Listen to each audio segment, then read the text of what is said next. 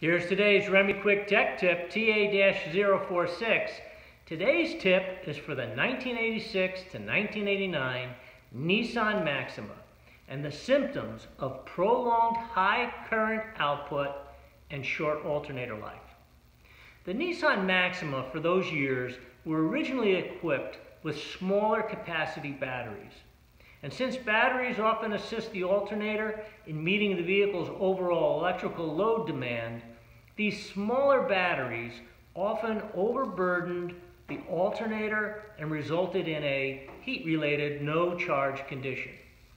A simple solution for avoiding this condition is to upgrade the vehicle with a battery rated at 450 to 500 cold cranking amps. That's the Remy Quick Tech Tip, and it's another reason why your next starter alternator should be a Remy.